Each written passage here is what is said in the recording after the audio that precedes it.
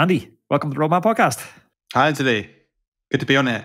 I've been looking forward to this one for a while. Yeah, yeah. Um, I really uh, enjoyed the LeMond Part One, and uh, yeah, really looking forward to chatting. I was thinking about story arcs, and you're you're a great storyteller, a really gifted storyteller in that kind of Venn diagram of people who can tell a story and people with cool stories to tell. Like I think you're right in the center. You have a cool story to tell, and you can tell it super well. And I was thinking about storytelling in general as the story arc. I'd be like, Superman's such a great story, but Superman's scared of kryptonite, and you know it brings him to his knees. Superman without the kryptonite's not a very good story. It's just a dude. It's basically Pogacar. It's a dude who can win everything he touches. It's not a very good story arc. But that's not what Tom Simpson is. Tom Simpson is a very human character. He's very flawed. I wonder is that why we all have such a connection to him because we see a little bit of ourselves in him. I think there's a lot of reasons why. Um, you know, firstly, I'm British. I, have grown up in a British cycling community where obviously I, I, wasn't alive when Tom Simpson was, but you're you're told, you learn when you get into the sport pro cycling that Tom Simpson was the first first you know great modern British road racer. He was a pioneer. He was the one who who won these first classics. He he won San Remo. He won Flanders, Bordeaux Paris, the world champs, wore the Tour de France, you know, yellow jersey at, at a time when you know, just crossing the English Channel to the extremely Eurocentric sport of cycling as, as, it was then was a huge chasm. Like it was so different. There was there was no road racing tradition really in the UK. Like even racing on the roads was a revolutionary, controversial thing in in the 1950s. So there's that connection there. You know, there's that like connection already from older people who are still alive who you know there's a, a Tom Simpson Appreciation Society on Facebook, and there's there's still stories, there's new photos, there's new stories, there's new fans like who are joining it, but it it's kept alive now. His daughter's very prolific on there, and it's a really nice thing because they're re- they're reliving a great sporting champion, um, and it feels like he's still alive because you are getting these new standpoints. But then you have the continental angle. Like they connect because he came over to Belgium and he lived in Ghent for a long time. You know, he lived in, in Brittany for a little bit, um, and they grew to love him because he was a character and because he was a fantastic road racer too, regardless of his nationality. That, they kind of played that up. So uh, there's lots of reasons think, why. I, I think it's kind of wild how tribal we are because much in the same way that the French use an expression, I'm not sure if you how much time you spent out there, le métier. It's like the the sacrifice, the hard work, the dedication. And as a part of that, I always took when I raced in France, it's understanding that cycling culture and your cycling heritage. And by understanding that, we can make, you know, better tactical decisions, training decisions into the future. But, you know, myself and yourself are only a couple of hundred miles apart separated by the Irish Sea, yet your cultural traditions around Tom Simpson and our cultural traditions around like Shay Elliott, they're so, so different. Why do you think it's so important that we keep these stories alive, that the new generation coming through understands how prolific writers like this were? Yeah, yeah, I think it's really interesting that you know, I'm into lots of, of different sports, you know, football, tennis, uh, boxing, athletics, but cycling is maybe the one that has the closest connection back through time. This it's more than nostalgia, like it's something you can feel, it's tangible, um, and maybe that's because what we call the monuments. Yeah, it's a fairly recent phrase, but those top races, firstly, they've not really changed in terms of prestige for I don't know, 80 years, uh, 70 years, like you know, Tour, Giro, Vuelta, five monuments. Um, so that's really that is like the chain through time that doesn't break. Um, so Merckx, who wins, you know, Tour Flanders in 1969 compared to like Pogacar winning it, you know, there is a comparison there. Like yeah. even the route, some of the roads were kind of similar. But then, you know, bikes change, kit changes, blah, blah, blah. They're still doing, you know, it's uh, it's the same exhausting, demanding pursuit of you know sacrifice that always has been. Maybe even more, you know, with sports science and nutrition and all the rest of it. But even that hasn't changed that much. So that's what I really like that I was actually talking to Vin Denson, who was Tom Simpson's teammate uh, in the 60s. I was talking to him a few months ago. And firstly, he's a great storyteller. But secondly, he can he still watches cycling. He still respects what they do. He's still been guest of honor at, at the Tour of Britain. So it's kind of like we respect the forefathers and yeah. the mothers. That's not really a word, but uh, mothers who've been before us. And they respect, you know, we hear Merckx talking about Pogacar. They respect the new breed too. That's really nice. There's that, I suppose respect is a word. Even as fans, we have that. We compare, can't really compare that Coppi to Pogacar. And you have to be really old to still be alive to remember both of them.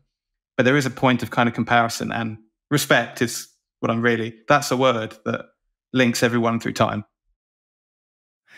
How do you approach as a storyteller a story like Tom Simpson's that has equal measures triumph and tragedy? Is that a challenge? Yeah, it's it, it's a bit of a challenge. Um, also because you know when I was pitching Bird on the Wire nearly ten years ago, um, there were there already a few books out there like about Tom Simpson. So firstly, you don't want to go over. You want to go over. You know, you can't change the achievements. You want to focus on them, but you don't want to I didn't want to kill him with my words. He's already dead. He died 50 years ago. There's no point um, attacking him, you know. Um, so I wanted to find new angles and you wanted to mix that. I mean, there is that triumph. And I thought with Bird on the Wire, writing it, I actually thought a lot of his achievements hadn't been focused on in like enough depth, you know. For a lot of people, even in the, in the UK, let alone on the continent, especially France, you know, because he died on Mont Ventoux in the 67 Tour de France he is known as you know the first big name cyclist to die related to doping and that has been like that is his story for many people but that's that is just one part of the story like and it's kind of un- unfair and that's kind of covered everything for 50 years so i kind of wanted to bring it back to well hang on like he was a trailblazer he raced with great panache great charisma and he did so many new things and people loved him. You know, rivals loved him, let alone teammates, friends, family. Like he was larger than life. So, so I, I, I wanted to tell that life, not just like the cycling life. Like there's a few chapters where I talk about, you know, Bordeaux Paris, him winning Il Lombardia, but also, you know, driving at 100 miles an hour on mountain roads with his wife screaming at him to stop and then she'll like divorce him, you know, if he doesn't slow down and, you know, the jokes he would pull. So you get both sides, you know, or all the sides the father, the racing cyclist, uh, the champion, the human being. I've been debating this in another context. I've been reading a totally off the wall book about German philosophy, and one of the philosophers in the book it was a card carrying Nazi during the Second World War. And so then, even before you get into any of his philosophical teachings, I suppose it poses this implicit question Is everything that he says in a philosophical sense tainted by the fact that he was a card carrying Nazi? So, to throw that one back to you, is Tom Simpson as a legacy separable from Tom Simpson's legacy and his involvement in doping? Um, so when you first started that question, I, I, I was racking my brain thinking, was Tom Simpson like a Nazi? Like, I, trying to think of the link. I was like, no, he was too young for that. I, I was like, did I miss something huge in the research? I, I, I mean, there's probably a book in that, you know. He's a double agent. Double agent. Hey, fooled me. fooled lots of journalists. well, there's great stories about Bartali. I'm not sure if you've read Road to Valor. Bartali carrying the documents, the forged documents to get Jews out of Italy, but that's a story for another day. It is a story for another day. I, I don't want to be that guy, but I've heard some, I've read some revisionist things saying that it's not quite how it appears, but that really don't is another. Guy. Don't be that guy. I'm don't not that guy. We won't go real. there. we won't go there today. But to answer your question, absolutely, it's separable. Um, also, it was a very different time. Like, and it, it isn't condoning what happened, but there weren't anti-doping tests in the Tour de France till I think it was 65. You know, maybe 1960 was the first one.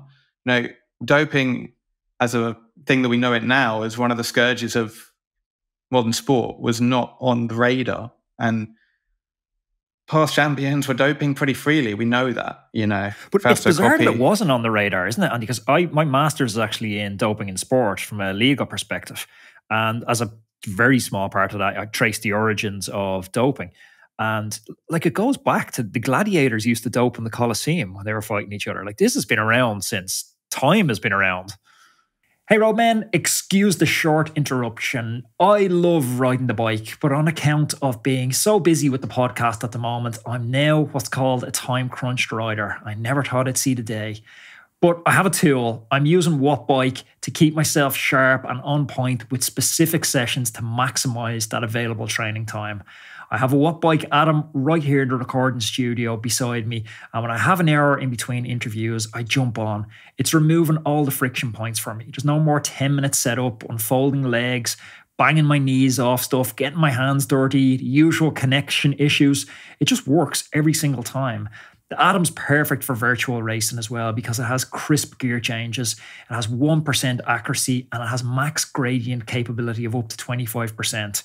If you're looking for an indoor trainer, I honestly couldn't recommend this any higher. I've been using a Wattbike since 2013. Honestly, it's the last indoor trainer that you're ever going to need. If you head on over to wattbike.com now and use code ROADMAN10, that's R O A D M E N T E N, and that's going to get you 10% off your Wattbike.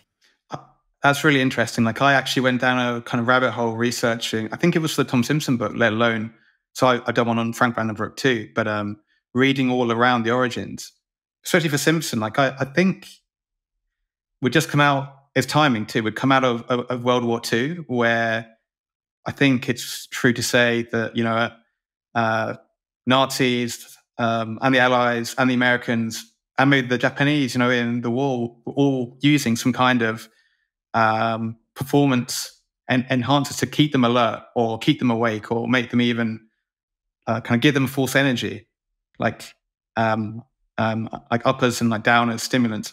I can't quite remember what they all were now, but there's it. So there's, a, so there's that culture, but there's not that stigma. Like I remember Anthony Eden, who was a British prime minister, was using stimulants to keep him like alert. Like when the prime minister's doing it, you kind of think it Wasn't there a story that Sean Kelly's mechanic was doping at one point as well? Sean Kelly was working his mechanic so hard that his mechanic was having to take like Belgian party mix or something equivalent to get to the races. Pot Belge, yeah. Well, I, I, mean, there's all these stories, but like there wasn't that stigma. Um, it's really it is bizarre to think now, but it's also and I also think the way that we look at doping changes depending on the country where you're in. Like this is kind of a this is a broad generalization, but I find that sometimes Spanish and Italian riders get off a little bit easier from their public, from their media, than say British and like Dutch and more traditionally 100%. puritanical yeah. you know countries. Uh, because I think this attitude in the UK sometimes where we're like, oh, this this couldn't happen in our country. You know, British sports people wouldn't dope. And then when it happens repeatedly, I mean, with many athletes over the years, Dwain Chambers, um, there's this inflated sense of kind of shock. But we should, you know, remove nationality from sport sometimes. That that any person from any country in any sport can cheat, and it, it doesn't matter how nice they are, how charismatic, how boring or unpleasant they are. You know, that's just how it is. But that's a great point because if you think about Wiggins and Froome, to my knowledge, have never tested positive for anything. But yet their legacy, it's weird using the word legacy for Froome when he's still racing, but is he still racing? so he's there, has a jersey on. But the legacy of those two guys seems so tainted by inhalers, the jiffy bags, all that stuff that went on at Sky. And I think if you ask someone on the street who's not super into cycling, they would maybe reference that, even though neither of the guys ever tested positive. And I think they five Tour de France wins between them. And then you look at Valverde, who did dope, was convicted of doping, came back and was welcomed basically back as a hero. Yeah, um, Ivan Basso, who I, I think I, I actually kind of confessed more than most do, and I think, if I'm right to recall, he helped out with information a little bit. I just saw him at the weekend at, at Strade Uh, he's in a team manager role, you know, which is fine. You know, he served his time, but there isn't that kind of. So I, I don't think that Bradley Wiggins or or like Chris Froome have been blacklisted or have a dark cloud, particularly over their names. Um, but there is that that smoke, you know, no smoke, kind of without fire. Certainly with Wiggins and the Triamcinolone and the Jiffy Bag. Um, I also think it, it, it's partly down to the way Team Sky won and raced that filters into it. You know, Pogacar, for comparison's sake, races in such an expressive uh, and open way and just ride a blanket with an 80k insane solo. Whereas we know how Team Sky raced; it was kind of like a lead out up a mountain with with the kind of what's the word stereotype that they were staring at their stems, looking at their power meters. When in truth, it isn't as easy as that. Like, and that didn't help that stereotype in terms of the popularity of Froome and Wiggins and how they're perceived now. When you think about how much we've changed societally in the last, you know, 10, 15 years, never mind going back to when Tom Simpson made that jump from the UK across to France, like we don't have we didn't have the internet to pop a team a message and say, "Hey, can I come over and ride for you next season?" We didn't have Google Maps to plan the journey, you know, Skyscanner to plan the flights. Like Greg LeMond spoke to me on the podcast about one of his first experiences going to Europe, and he flew out to Europe. He had basically no money. I think he'd like eighteen dollars or something in his pocket, got to the airport. Someone was meant to pick him up. There's no one there. All he had was an address of a village, not a house, a village on a piece of paper. He assumed someone was going to pick him up. No one picked him up. He asked the taxi driver, like, how much to get to this village? Taxi driver was like $40 equivalent. And he's like, I only have 18. Eventually, the taxi driver, through some haggling, agreed to take all his money to drop him to this village. And he didn't know who he was looking for. So he had to start knocking door to door to see if anyone knew about cycling or a cycling team. And eventually he got pointed in the right direction and brought into a house. And that was the start of his racing in Europe. And that's 80s. So rewind that 20 plus years to when Tom Simpson's getting started. How hard was that transition from racing in the UK to making it to France? Or do you ha- did you uncover documentation or stories about that era? Absolutely. Like it was even harder than it was for kind of Greg LeMond. Like, yeah, the kids these days don't know how good they have it, and you know how how easy. We're like two boomers, aren't we? Talking about you don't know how good you have it, lads. To be fair, like uh, I think two summers ago, I went uh, on a camping trip, like with my girlfriend, and we agreed we wouldn't take any um, any technology, no phones, no screens, no laptop. So I memorized the route. Uh, like camping, it was about like an hour and a half drive, and you had to go through London. And I really planned it out. And you don't even know what time it is when you wake up. So we might have bought an alarm clock. And we didn't get lost, but I put this down more to luck than, uh, you know, planning. Uh, but it, firstly, it was really nice to be away from screens for, you know, two, three days. But secondly, yeah, you just take it for granted that, you know, we look at our phones. I think I was reading like seven hours like a day on average or something in America. Brilliant. And like, but anyway, sorry to answer your question, gone off on tangent there to boast about my navigational skills. um, yeah, like it was. Simpson did a lot of track racing. He rode the Commonwealth Games, I think, in Australia when he was just up, up and coming, and already the desire was there. Like you kind of, you could even see it in the way that he raced. Um, it was kind of, yeah, almost visible that he was strong, sometimes too strong, and he burnt himself out by um, attacking too early or you know racing technically too hard you know crashing on certain corners but he had something. And i think the only magazine they had here in, in the uk was a monthly called Coureur um, and run by jock wadley who was a legendary british uh, journalist so he'd been seeing that and he knew the only way to make it on the continent in this alien sport like brittany france Belgium, Italy, Spain, you know, the heartland of cycling then might as well have been Mars. It was that distant. Like he knew that he had to go there. So he got the boat over to Brittany. And like you say with Greg LeMond, like you just wind up, I think he had a connection. You wind up in this village. You don't speak French. You probably have a few francs, but really not many pennies to put together. Um, actually, I'm just recalling I think he he borderline dodged military service to oh, go really? to Brittany. He kind of popped on the boat, yeah, to avoid getting you know called up because it would have wrecked his his dreams, yeah. his cycling career. which is interesting. Like again, kind of beyond our comprehension. You know, conscription. I think it was 59, 1960, 15 years after World War II, but you know, still it was that generation who was still just about recovering from it. So he popped over to Brittany, and you know, you're racing. You don't know anyone. You don't speak French. You're staying with some some Breton grandma. you know, like, living off French bread, and there are combines. It's a mafia out there. You know, often then as it is sometimes now in, in kermesses. And by mafia, I kind of mean you have to know the right people. You have to know the game. You have to know the riders that have been doing it for years. And, you know, this is their local town. They're going to win today, or they're going to let you come third or win that prime, you know. And so gradually he made a, he made a bit of money, but also it was really about getting noticed by anyone, you know. And he was racing in some pro am races and that's where he kind of caught the attention of a of a bigger team and his his career in Europe could really take off from there. One of my understandings of him is that he was like quite an early showman, that he appreciated the value of spectacle. I don't know if that was inbuilt just into his racing style. As you say, he was quite punchy and energetic, especially in the short races, or if this is something he, you know, almost purposefully curated in the sense that we see, you know, modern athletes like Conor McGregor, they're half athlete, half showman. Did you get a feeling for if that was his personality or if that was more uh, kind of, yeah, like I say, curated or thought about?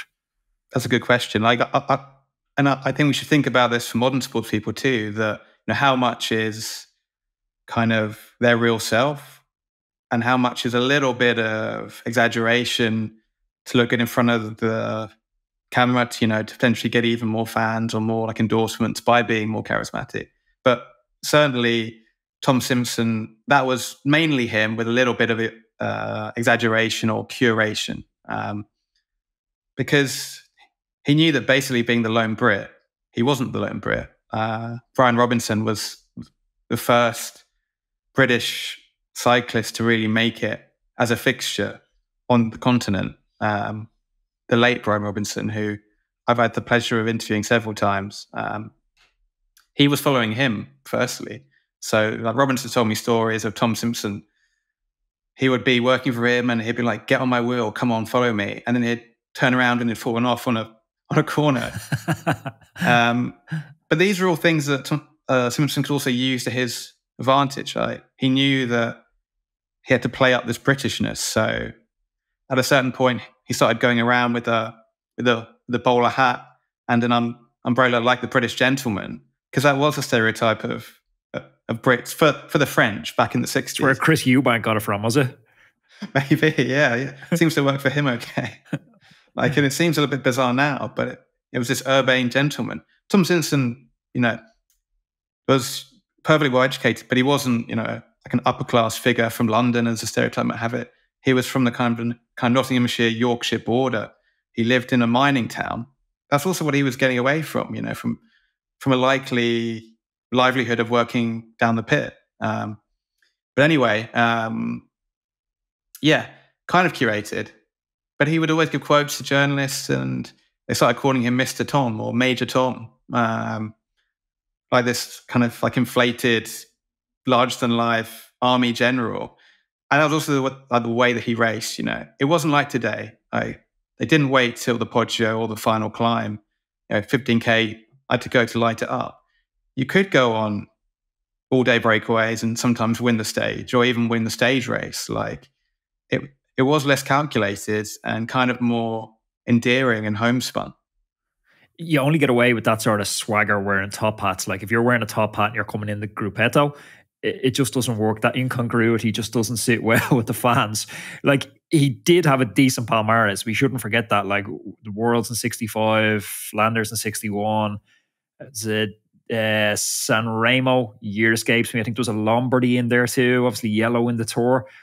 Was there a breakthrough ride there where you know you don't fluke a race at that level? Was there a, a precursor to those results that said, "Oh yeah, like Tom could win the biggest races in the world," or was there an indication that that sort of talent was there? I would say him winning Flanders in 61 was a surprise, like already. But I, I think 1960 Paris Roubaix, he'd been up the road and he didn't, I think he tapped that 50K to go. Um, and it looked like he was going to win. Um, and he'd just been pro, not, not even been pro for a whole year. You know. Pro. 50k to go in Roubaix is a fucking ambitious raid, Gilbert esque.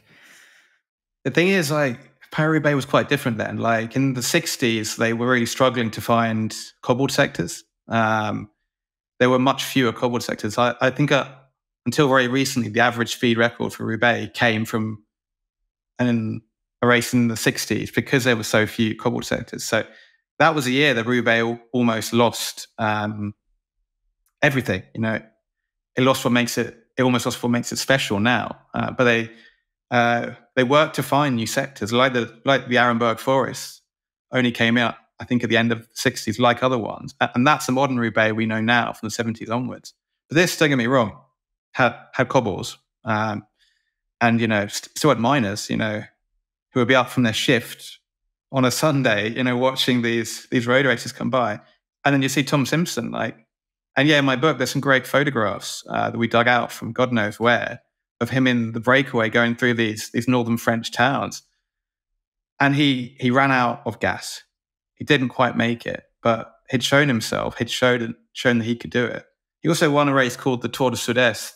I think it was the year before that, uh, which had a fair few climbs. That's Tour of the Southeast. I don't know if they went up Montferrand.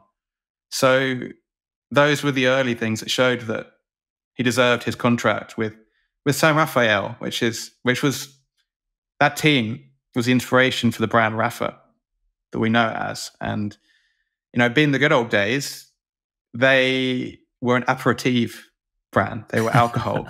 they were so whenever he was up the road, it was good advertising for, you know, what everyone would be drinking at 5 p.m. on the French Riviera.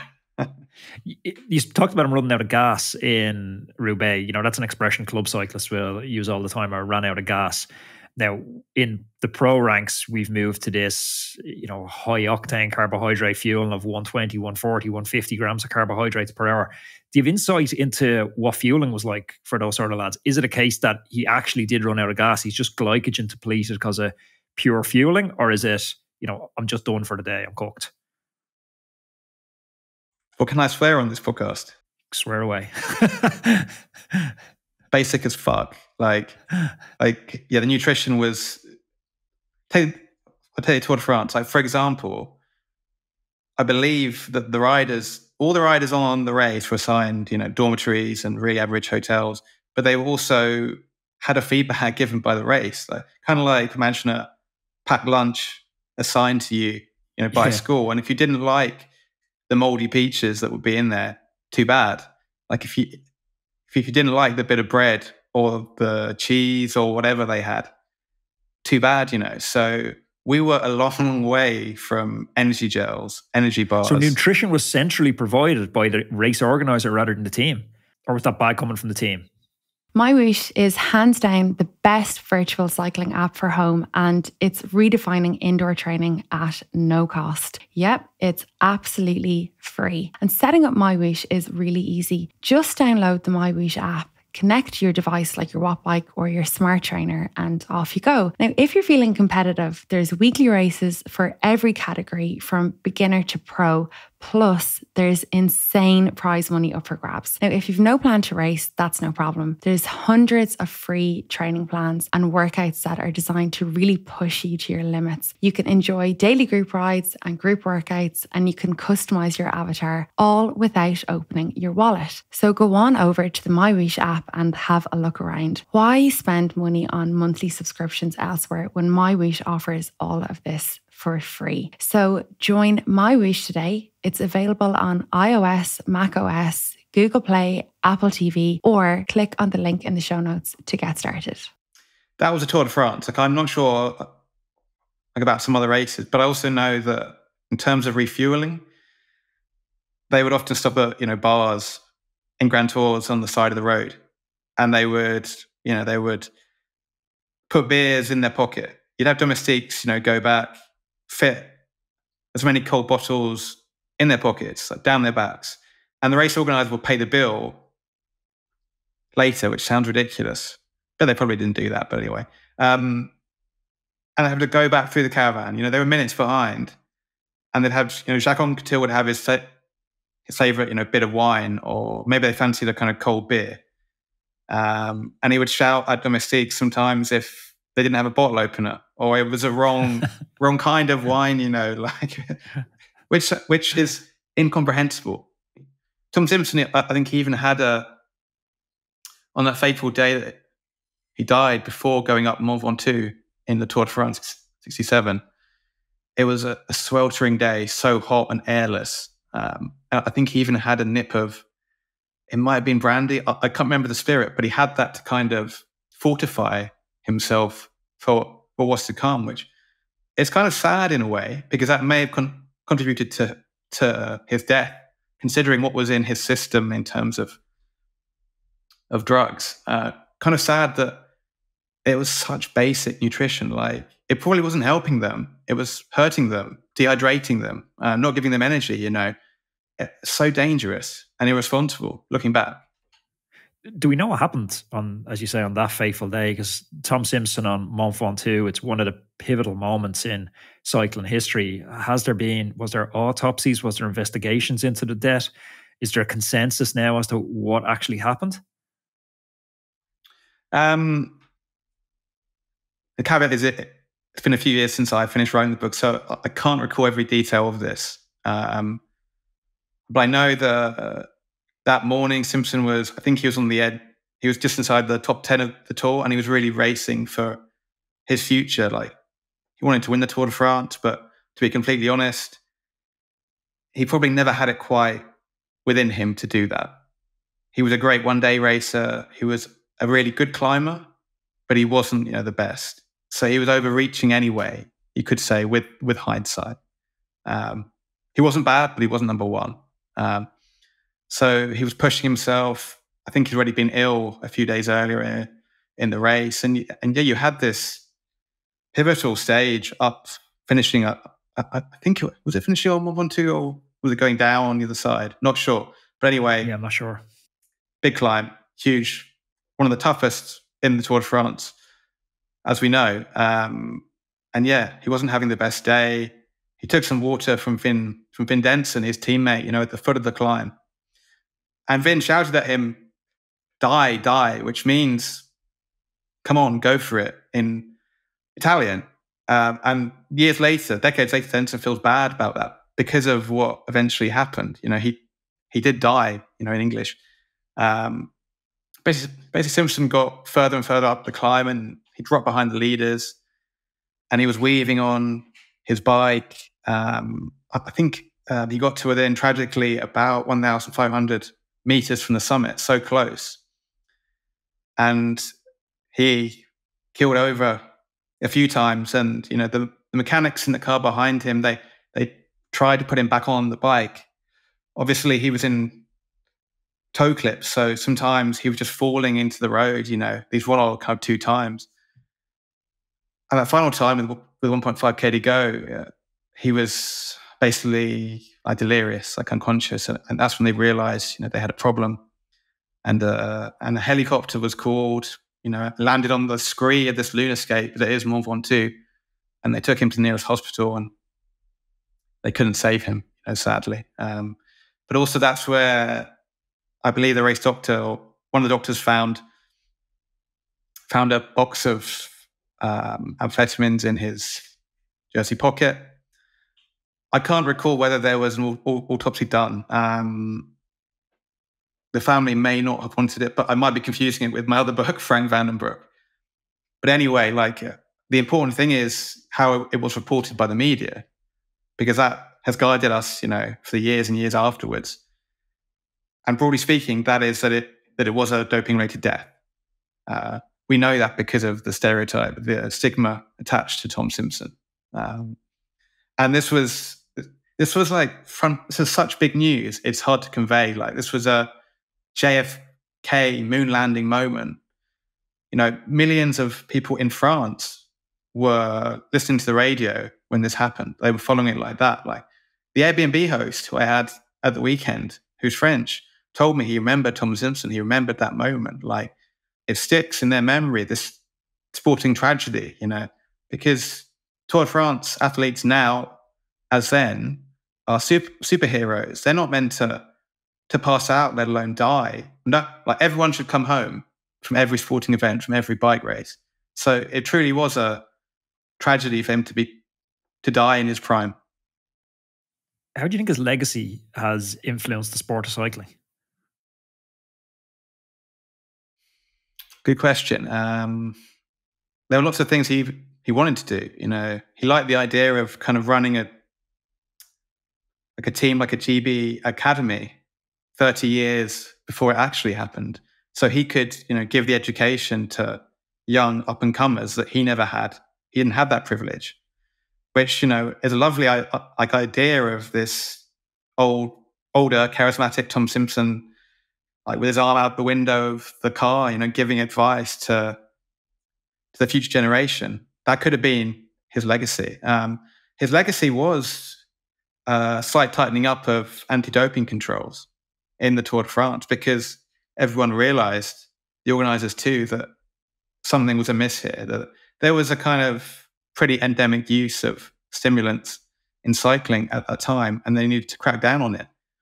And um, unfortunately, it, it, didn't really crack down. It didn't really stop. You know, it had the effect of riders feeling harassed. You know, refusing sometimes to do to do anti-doping tests, um, and for it to go underground to become more secretive. And the tests were pretty pretty rudimentary and pretty rare back then. Like it's not like modern anti-doping, but even now, you know, the budgets of anti-doping federations compared to some sports, some sporting teams who might who might have so much more to gain. Their budget is, is so small that they might always be behind the cheaters. Yeah. I often wonder if you, you transpose a, a rider from that era into the modern era, like how would they stack up? And you hear this debate all the time in every pub, you know, oh, if Pele was playing for Manchester United now, how many goals a season he would get. And that's, you know, an impossibility to figure out a question like if Pele was playing for Manchester United. But I spoke with the author of Beryl Burton's book that came out last year, and they actually tried to answer the question of how good Beryl Burton would be if she raced right now.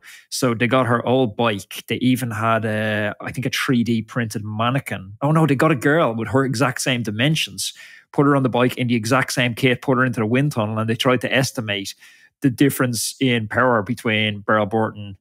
Uh, then, if you put her onto modern equipment, so if you put Beryl Burton onto, you know, your latest specialized SL8 aero optimized like a middle of the road pro, how fast would she be? And they actually tried to answer that question. Where do you think Tom Simpson would stack up? That's fantastic. Like that is as probably as close as you can scientifically come nowadays to actually comparing, you know, apples to oranges, which is yeah. comparing, you know, Coppi to Merckx to Indurain to Pogacar. Um, that's brilliant, and it's more measurable for her maybe because she did so many time trials. Um, yeah. Tom Simpson, how would he stack up? You know, up against Van der Pogacar.